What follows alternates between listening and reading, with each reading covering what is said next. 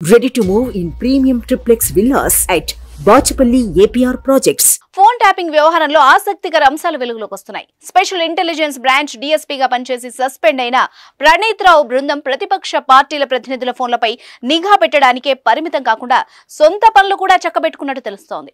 వామపక్ష తీవ్రవాదంపై కన్నేసేందుకు సమకూర్చుకున్న అత్యాధునిక సాంకేతిక పరిజ్ఞానం సాయంతో రాజకీయ నాయకుల ఫోన్లు ట్యాప్ చేశారన్నది వీళ్ళపై ప్రధాన అభియోగం. ఈ క్రమంలో ముఖ్యంగా హవాలా లాంటి నల్లబజార్ వ్యాపారాలు స్థిరాస్తి దందాలపై కన్నేసి భారీగానే దండుకున్నట్టు అధికారులు అనుమానిస్తున్నారు. ఈ బృందం బారినపడి సొమ్ము పోగొట్టుకున్న వాళ్ళ మొత్తం వివరాలను సేకరించేందుకు సిద్ధమవుతున్నారు.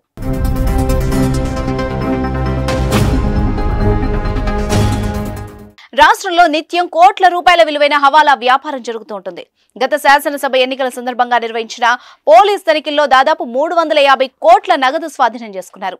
దాదాపు ఇదంతా హవాలా వ్యాపారానికి సంబంధించిన సొమ్మే. అలాగే మూడు వందల కిలోల బంగారం వెయ్యి కిలోల వెండి కూడా స్వాధీనం చేసుకున్నారు. తనిఖీలు నిర్వహించబట్టి ఇదంతా పట్టుబడింది.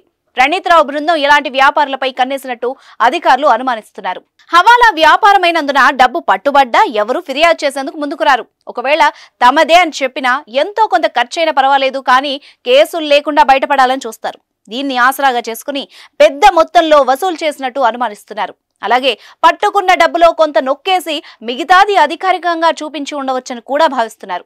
అప్పట్లో నమోదైన కేసుల ఆధారంగా హవాలా వ్యాపారానికి సంబంధించిన వాళ్ళని పిలిపించి వివరాలు సేకరించే ఆలోచనతో పోలీసు అధికారులున్నారు.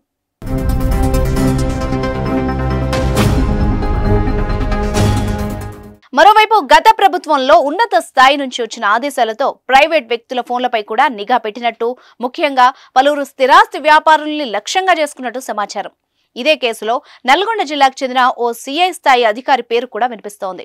ఈ అధికారి నల్గొండకు చెందిన పలువురు వ్యాపారుల ఫోన్ కాల్స్ను ట్యాప్ చేసినట్టు ప్రచారం జరుగుతోంది. దర్యాప్తులో భాగంగా ఇప్పుడు ఇలాంటి వివరాలన్నీ సేకరిస్తున్నారు.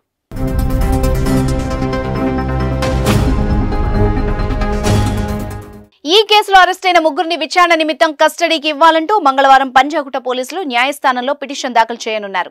తొలుత అరెస్టైన డీఎస్పీ ప్రణీత్ రావును ఇప్పటికే ఏడు రోజుల పాటు కస్టడీలోకి తీసుకుని విచారించారు.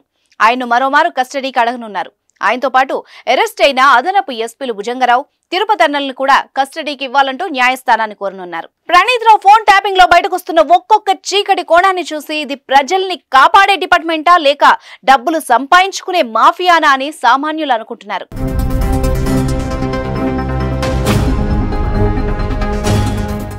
సుమన్ టీవీలో మీ పర్సనల్ అండ్ బిజినెస్ ప్రమోషన్స్ కోసం కింది నెంబర్కి కాంటాక్ట్ చేయండి.